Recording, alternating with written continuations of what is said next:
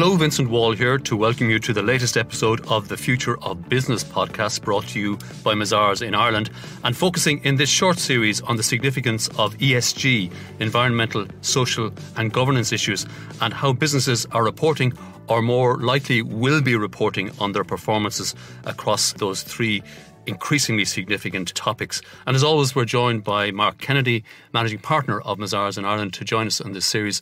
How are you, Mark?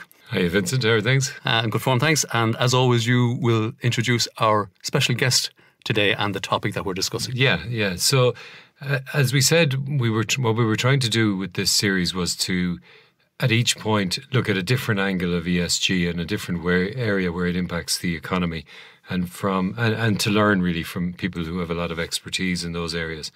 And to that end, I think banking and finance generally is obviously key. It's key to the um, European Green Deal. It's key to how the world works in many ways.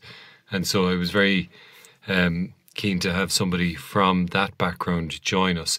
Unfortunately, we have in Mazars an expert in London. And again, I thought the fact that London is home base for our guest is, is quite important because here in Dublin, we often look to London, to the capital markets there as a reference point. So I'm delighted to, that we're joined today by Leila Kamdem-Fotso. Leila is a partner of mine in Mazars. She works in the banking team there, but is also has worked here in Ireland and has worked in a number of countries. And in the last uh, year or two, she's been working with clients and some of the agencies that are looking at the ESG issues. And I think is an interesting guest from that perspective. So nice to see you, Leila. Hi, Mark. Hi, Vincent. Welcome, Leila. Um, I suppose maybe just first you might inform us and our listeners how you got interested in this whole area of the relationship between banking and finance and, and, and, and climate change and how how banks in particular are going to have to account for themselves in this area. I think the, the trigger for me was actually has a name. It was Mark Carney. So when he was uh, he was still governor of the Bank of England, um, and he was becoming increasingly vocal about the topic. You know, lots of speeches and statements. So it was easy to anticipate that regulation was on the way. And obviously at Mazar, we are very much interested into, into banking regulation. So we started, you know, monitoring what was coming. And, um, and then we thought, why don't we do a study with a think tank, so OMFIF, uh, to look at how not only the Bank of England but other central banks as well were going to uh, to respond to the threat of climate change. So that that's really the I think the the the, the milestone or the, the, kind of starting point in the in this journey on you know working on on, on climate change and, and the regulation and the response from regulators uh, to to climate change. And I think maybe just to add to that, uh, the OMFIF report is important here in Ireland as well. OMFIF is the organisation which it's really the, the club for regulators around the world, central banks and other regulators. For the two or three people listening in who mightn't know that. Yes. yeah, it's not it's not they don't advertise widely, but they are a very influential group in the thinking of central banks and regulators. And so we collaborated with them, not just in the UK, and, and Leila was, I suppose, the core team that worked on this, but we, we included quite a number of regulators, including our own central bank. 33 central banks, actually. Leila can tell you more about it. Yeah, you exactly. might you might kick off the conversation then, uh, Leila, by, by giving the, the, the principal findings of that report. And I suppose uh, the focus that, that central banks generally and regulators generally are now bringing on this whole issue. Yes, sure. So I think I think the major finding from the from the survey was the fact that um, so as I said, we spoke to 33 central banks across the world, and 70% of, of respondents um, said that they, they consider climate change as a major threat to financial stability. And then the question was, um, how do they respond to that threat? So we, um, we, what we saw was that, uh, first of all, central banks are going to, to integrate climate change into stress testing. So stress te- climate stress testing is going to become mainstream. Uh, it's starting already in the UK uh, from next year. It has started in France as well uh, this year. So that's the first point. The second point was around disclosures. Uh, so climate related disclosures are going to have to be incorporated into financial disclosures for banks and other financial institutions, which I think is a major thing. And, um, And I think we can discuss it later, but the, the, the task force on climate related financial di- disclosures, which was launched by Mark Carney as well, uh, when he was chairing the FSB, uh, the Financial Stability Board, is really emerging as the standard of reference for, for climate disclosures. The third point was around uh, green finance, so green bonds, green loans. Central banks are increasingly looking into how to standardize how you define green fin- how, how you define green bonds and, and green loans, because currently it's very much industry led and there's a risk you know, of green, greenwashing and not being completely, completely transparent on how these, what these products are, finance, are financing. Sorry. So central banks are looking at setting, uh, you know, very clear criteria and principles on how to define these green uh, products. Just getting back to the, the, the whole stress testing uh, area, that will involve regulators, central banks and regulators literally going through the the the lending policies, but also the loans that are out there by banks uh, uh, and how they're exposed to climate change, the liabilities that might build up. Yes, definitely. So I think the the first important thing is to have a picture of what the risks are currently. So looking at banks' balance sheets how is climate change impacting the traditional categories of risk that we know? So, you know, credit risk, market risk, operational risk. And then more forward looking, looking at different scenarios. If we know that we are currently on a trajectory to meet, you know, the Paris Agreement target of uh, reaching net zero by 2050, what does that mean for those banks in terms of you know, how those risks are going to evolve. So it's really it's really uh, uh, a, a, picture at today as of today, and also looking on a, on a more forward looking and on a scenario analysis uh, on a scenario based uh, basis actually. And it brings you, I think, into you know from a, a real world perspective, it brings you into a question of what assets do banks hold, what assets do their clients hold through you know, which they're now exposed to from a lending perspective, and issues around valuation, issues around trapped assets, changes in work mm. over time, and again links back to the macro, um, I suppose, policy changes that the European Commission are proposing. So it's finance is really the the join between those aspirations and how we make things work in the real world. And I presume as that process gets more complex and sophisticated, banks will be required perhaps to set aside more capital in reserve if if climate related risk assets are, are, are deemed to be uh, a significant element of their balance sheet. Yeah, absolutely. And there is, um, so as part of the European Banking Authority's Action Plan on Sustainable Finance, uh, I think it covers the period until 2025. One of the measures they are looking at is whether there should be a green weighting factor. So basically adjusting capital requirements, taking into account the level of capital of, of climate risk that sits on, on banks' balance sheets. Given given that that that that context, that base that we've set through that survey uh, that Mazars was involved in, uh, Lena, which uh, regulator is most advanced in, in pushing this forward? Is it perhaps the Bank of England because of Mark Carney's influence?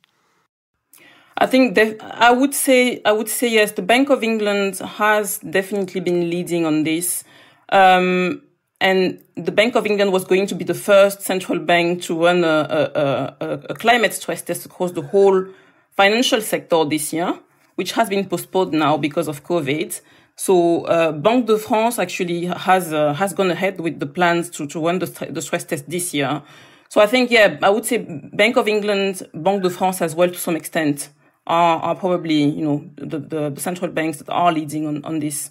You've probably been monitoring, Mark, where the uh, the ECB and the EU regulators are. Well, I, I think, um, and and think uh, Leila has, has touched on it there. I think it's been left at, at this point to national regulators to push ahead with their stress testing.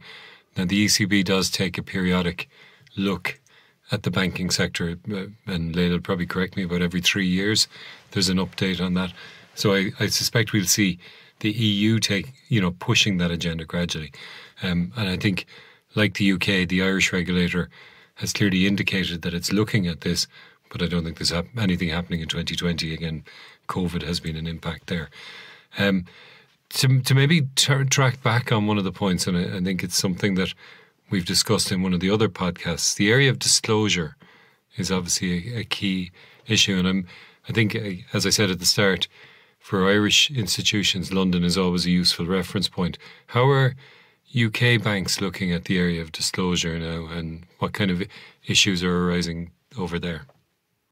Yeah, so as as we said, the, the Bank of England uh, has been leading on this, and I think in 2019, the Bank of England was the first central bank, the first regulator in the world to set out its ex- expectations on how banks should um, incorporate climate change into their governance, risk, risk arrangement, and disclosure uh, arrangements as well. So the, the expectation or the recommendation from the Bank of England is that banks um, follow the TCFD recommendations, so the Task Force on Climate Related Financial Disclosures, um, and that they, they start, you know, publishing information on how, what governance arrangements they have in place, what scenario analysis have they performed, what risk management have they put, uh, arrangements have they put in place, how, how have they updated their uh, risk management framework, their risk policies, what metrics and targets are they using to follow the impact of climate change on their financial exposures. Um, so that's really, I think the TCFD and, and also maybe it's, it's interesting to mention that the FCA, the Financial Conduct Authority, has done a consultation earlier this year on um, making TCFD disclosures mandatory for listed companies from 2022. So the, the, the area of disclosures is really becoming a big topic here.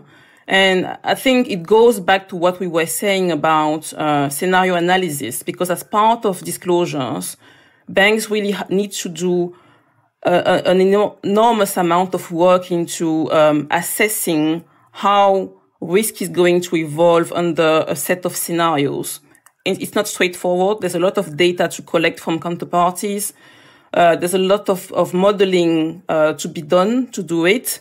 And, uh, and, so, yeah, I think the large banks have been investing probably a bit more than the smaller banks currently in the UK. Uh, there's also an effort at the at the regulator level to to coordinate what large banks are doing and to to share the, the knowledge that they have been uh, building on that with the smaller institutions. So there is a climate financial risk forum in the UK where uh, banks are working together and insurance, insurance companies as well with the regulators to define guidelines and uh, to provide, you know, practical examples and recommendations for the rest of the industry on how to address that. When we talk about disclosure, um, we often start thinking about the behavioural changes that that drives, and I'm wondering, are you starting to see in UK institutions so that they're planning different kind of behaviors in the future. And I'm thinking here in terms of lending policy, the kind of areas that they want to get involved in from a business perspective. Is that starting to have an effect, do you think? I think what we have seen, uh, I guess it's the case in, in Ireland as well, is uh, a lot of uh, exclusion policies. So banks have started by saying we're not going to finance um, um, fossil fuels from this date, for example, or we're not financing, um, you know, those kind of very high carbon emitting industries. Uh, so that's the sort of behaviors. I think it's the, it was probably the most straightforward things to address. Um, it's, it's a bit more challenging when you, you think not just in terms of, of physical risk, but also in terms of transition risks and how is the climate transition, the transition to net zero going to affect every single sector of the economy, um, then it, then it becomes more complicated. But yes, I think to answer your question, Mark, we are starting to see these kind of changes. I'm just saying, I think it's just the beginning of the journey.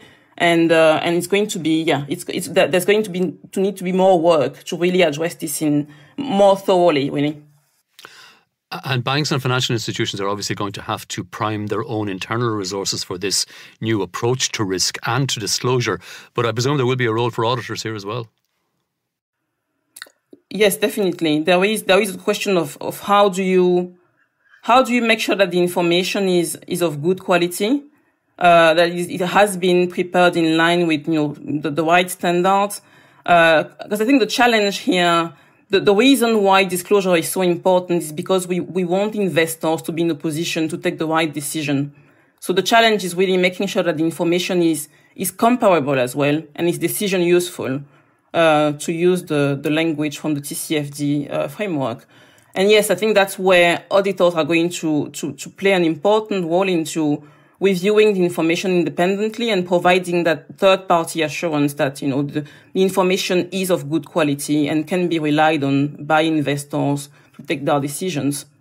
But Mark, maybe you want to add something on that because you are definitely more of an auditor than I am. no, no, I think you've covered it pretty well. I think, um, and we've talked a little bit about this on another podcast. I think, you know, the the direction we're traveling is validated reports, whether it's by auditors or whether it's by other third parties. But that question of independence and trust underpins all of that, and then picks up on the issues that you've raised. But I think Vincent was. You had another question, did you? Yeah. yeah well, I suppose we've been we've been talking about yeah. the in one way, it may be called the burden of of additional disclosure and risk assessment that is coming very fast for, for banks and financial institutions, Leila. Um, but during this transition period to, to net zero carbon, the, the target being 2050, but obviously we, we're going to try and get there earlier. Where are the opportunities for banks in terms of lending opportunities, in, in terms of bond issuance? I think one of the big, uh, and yeah, I agree with you. It's not just about risk; it's definitely also about opportunities. It's, I think it's important to have that in mind. And uh, actually, missing out on those opportunities is a risk in itself for financial institutions. So they really need to to pay attention to how the economy is changing and make sure that they make the the right decision in the right time. You know, to uh, to adjust our business model and to remain relevant in the new world. Um, so I think the, the, the, opportunities are actually everywhere, but one, one area that is really important is infrastructure. Uh, and sustainable infrastructure is going to be really key for uh, for meeting our climate targets, but also the other sustainability goals, not just climate. It's really important, and, and there is a, a significant gap in infrastructure finance. Um, so I'm actually uh, on that. I'm, I'm working on a, an, an, initiative with. I mean, Mazars is part of an initiative with um, with other with a number of financial institutions, including HSBC, on defining a, a new label for how to define sustainable infrastructure, and and also uh, the ultimate goal is actually to to scale up private capital into sustainable infrastructure. So uh, so we, we have HSBC in the initiative. You also have IFC, uh, Climate Policy Initiative, uh, OECD, and and the World Bank. And there's, so there's been we have been working on this for for a couple of months now. And by by beginning of next year, we will have the new label will be um, will be published for consultation and it will be a, set of principles on how you define a sustainable infrastructure asset, whether it's a it's a hospital, it's a port, an airport, you know, all, all of that. So it, I think infrastructure is definitely one of the areas where there is going to be a lot of opportunities, especially in the context of COVID as well and, and the post-crisis recovery for financial institutions. But, but, but that labeling process, as, as you call it, that, that is critical in terms of bringing consistency standards, consistent standards across the globe, hopefully, in terms of of both both projects themselves uh, uh and how sustainable they, they are in, in, in, in truth rather than just greenwashing as you referenced earlier.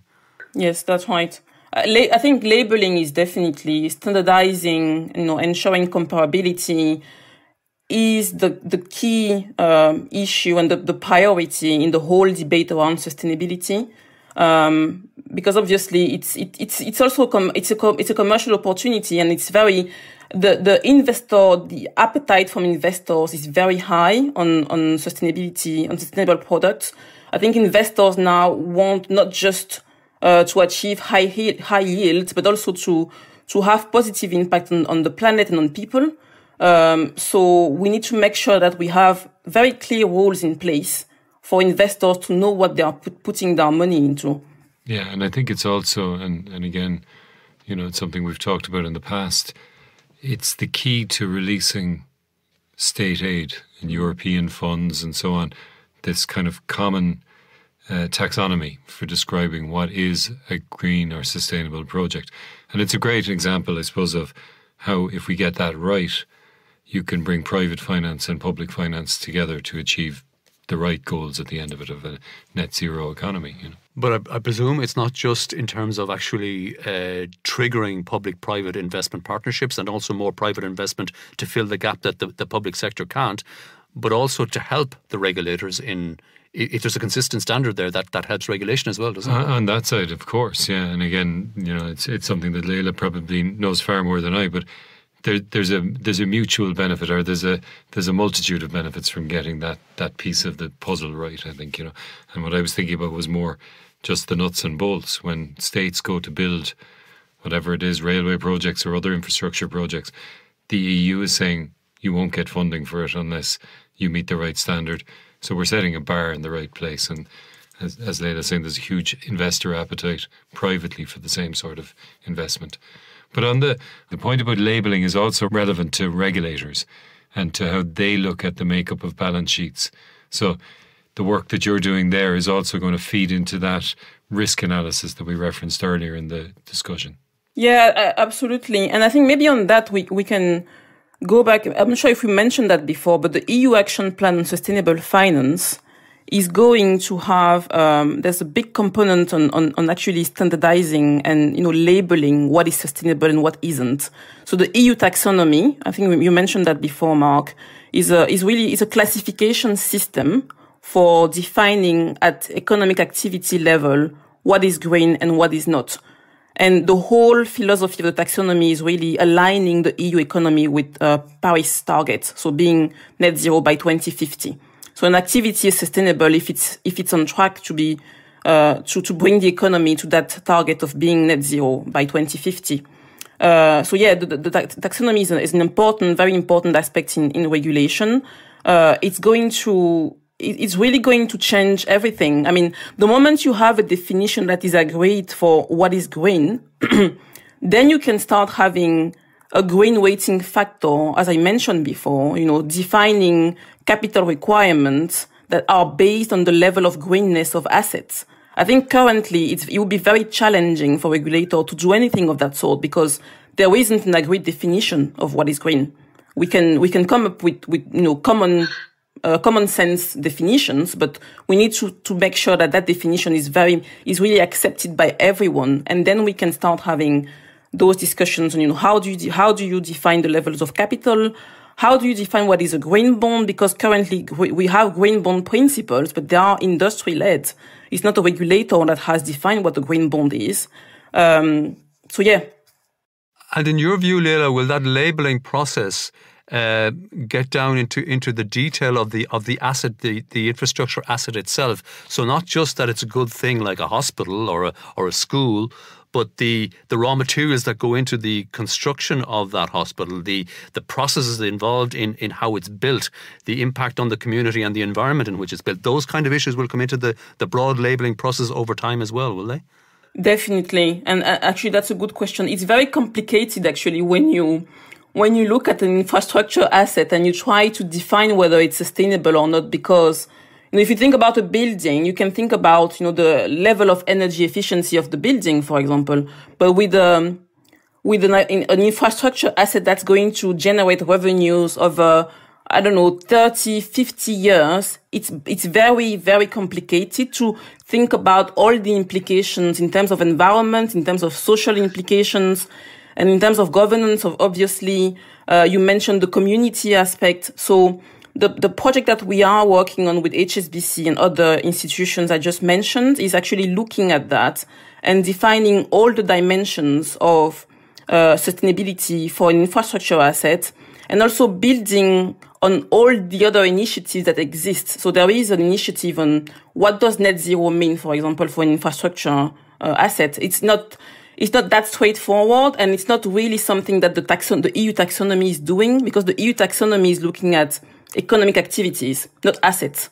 So defining sustainable at asset level is not the, a layer of, of complexity. You're based in London, as we as we said. Is Brexit having an influence on on progress towards some sort of consistent process and, and, and, and, definition and standardization across between, say, the UK and the EU? Yeah, so I think th- there was a it was a big question mark until uh, the beginning of this week, really. Um, you know, with the EU taxonomy coming into force from from next year. uh, the, the, the EU regulation, sustainable finance disclosures. We were wondering whether uh, financial institutions in the UK were going to, to have to, to comply with those rules. Um, so the, the, U- the UK, the government has confirmed that they won't, uh, they won't be onshoring the EU regulation on sustainability in, in the UK. Uh, the, the government here is going to work on a, on a, on a UK green taxonomy. But the taxonomy is, so that, that means potentially, you know, further fragmentation of rules and for cross-border institutions having to comply with different definitions of what is sustainable in the EU compared to the UK. Uh, the government here has said, though, that they will build, they will leverage on what the EU has done on the scientific metrics to define what is sustainable. So hopefully we end up with a system that is not too different from what the, the EU has done, but it remains to be seen, really. And I think for very large cross-border institutions, the closer things can be, the better. It's it's difficult enough to to navigate regulation, but this is a, you know another potential challenge for bigger banks. And I suppose here in Ireland, we have a lot of institutions that are based in the UK and the US and so on. So it's something that we'll have to watch, I think. We have um, one question that we've asked all of our guests, Leila, which is um, an open question, and not, ju- not so. Don't confine yourself to the topic today, but really, if there was one thing that you'd recommend to businesses that they could do, or that you'd like to see them think about in the in the next six months, what's that? What's the the most important thing from your perspective? I think businesses shouldn't underestimate the, the potential consequences of climate change on their business uh, on their performance. I think even if you feel that your you think that your assets are not exposed to physical risks, if you look at the transition and the the very profound transformation that is going to take place for for our economies to get to net zero by 2050, but actually before that, by 2030 we need to halve our carbon emissions. So it's not that far off. You know, if you look at the next 10 years, the amount of changes that is going to happen is, is very significant.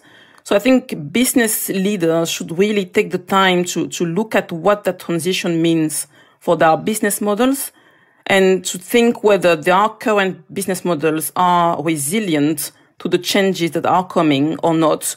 Maybe they need to develop new services, new products. Um, what new risks, you know, are, are emerging from that transition what skills they need. I think I think it's an important aspect. You know, I'm I'm not sure we currently have all the skills we need in companies, whether it's at board level, senior executive level, and and across all levels in in, in firms. Um, and the tools and the data that you need to measure that, all of that. So I think I, I would say definitely think about your, you know, in the same way as governments have announced a transition pathway to 2050, every single company should be thinking about their transition strategy to, to, to 2050. And if I could just pick up on, on one of those points that you've made in that in that uh, summary, Leila, do you think the banks, both in, in London, here in Ireland, and, and elsewhere, have the expertise themselves to to make this new form of risk assessment, or do they need to think about that? What sort of expertise do they need in house to to to to make the kind of risk assessment, and I suppose to pursue the opportunities that are there as well in sustainable finance? I think banks need to. They need, there, are skill gaps. I think they, they will. They all recognize that there are major skill gaps currently. Uh, they don't have all the skills and the expertise they need to to work on that new category of risk. Uh, and what we see a lot now is uh, partnerships between financial institutions and academia uh, to look at, uh, you know, to research the topic, to develop the new tools that they need, the new techniques, you know, to measure risk and also to identify the opportunities, as you said. So uh, I think that's something to, to consider. Whether you need to, we need to work uh, in a much more multidisciplinary way than we have done until now. I think. Okay, well, we might leave it there on that rallying cry. I'd like to thank Leila Kamdem-Fotso from Mazars in the UK and, of course, Mark Kennedy, who joins us as always, uh, managing partner of Mazars in Ireland. Big changes coming, not just in terms of governmental policy and decisions, but at the banking and financial side as well, both on the supervisory side and the investment side. Very interesting discussion today, but until the next time, we'll leave it there. Bye bye. Thank you for listening to The Future of Business with Vincent Wall and Mazars. We welcome any feedback to our podcasts and particularly your suggestions as to topics we should cover. You can comment and rate us wherever you find this podcast or on mazars.ie. Bye for now.